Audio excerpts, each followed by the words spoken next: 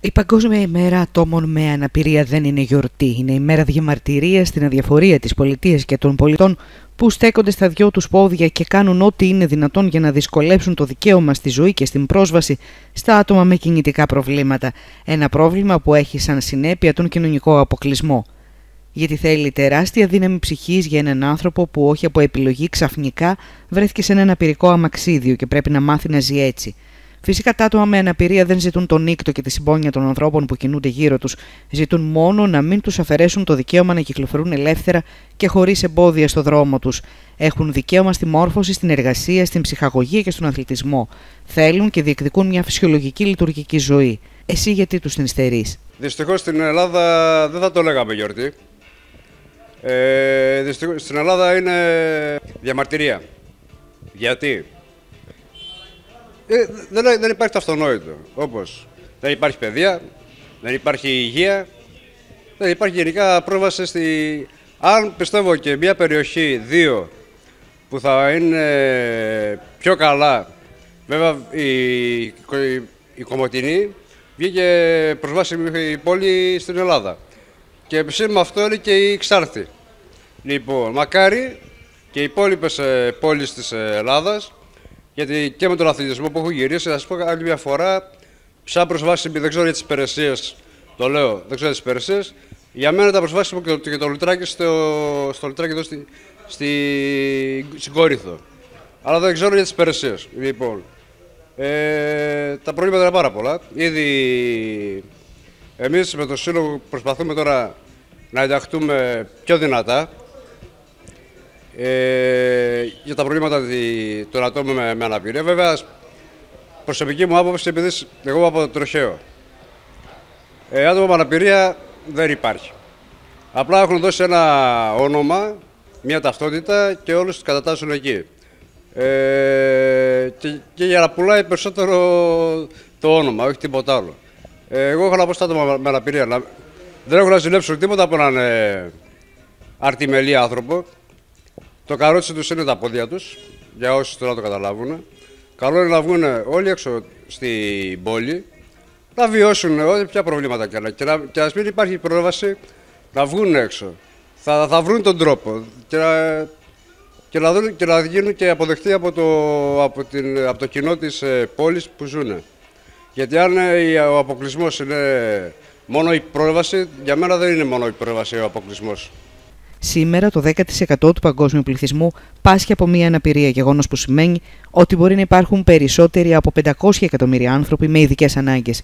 Το 80% κατ' εκτίμηση ζει σε αναπτυσσόμενες χώρες. Ωστόσο, στις περισσότερες αναπτυσσόμενες εντός εισαγωγικών χώρες, αυτοί οι άνθρωποι εξακολουθούν να είναι αόρατοι. Όχι γιατί δεν υπάρχουν, αλλά γιατί η κοινωνία μας, εμείς οι ίδιοι, εσείς, οι διπλανοί μας, όλοι μας, συνεχίζουμε να κρατάμε μια στάση απέναντί τους από αντιφατική έως τελείως απορριπτική. Το ερώτημα που γεννιέται είναι αν σήμερα είναι η μέρα συμπόνιας ή αν χρειάζεται μια συγκεκριμένη μέρα του χρόνου για να εκφράζουμε τη συμπαραστασή μας στα άτομα με αναπηρία. Αξίζουν φροντίδα και στήριξη μόνο τη συγκεκριμένη μέρα τελικά. Γιατί μόνο για 24 ώρες μπορούμε όλοι μας να φορέσουμε τη στολή της συμπάθειας και της κατανόησης. Εμείς σήμερα θα φωνάξουμε ακόμα πιο δυνατά ώστε να αναδείξουμε και να απαιτήσουμε. Επαναλαμβάνω να απαιτήσουμε τα δικαιώματά μας βάσει και του συντάγματος. Είναι δικαίωμα να διεκδικούμε ίσες ευκαιρίες, είναι δικαίωμα να και διεκδικούμε ελεύθερη πρόσβαση, είναι δικαίωμα και διεκδικούμε ισότιμη συμμετοχή στους θεσμούς είναι δικαίωμα και, δικαιο... και διεκδικούμε αυτόνομη διαβίωση.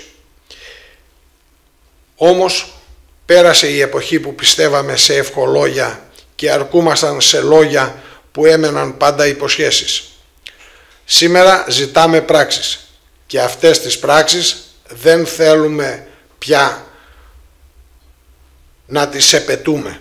Έχει έρθει η ώρα να τις απαιτούμε. Έχει έρθει η ώρα να περάσουμε σε έργα.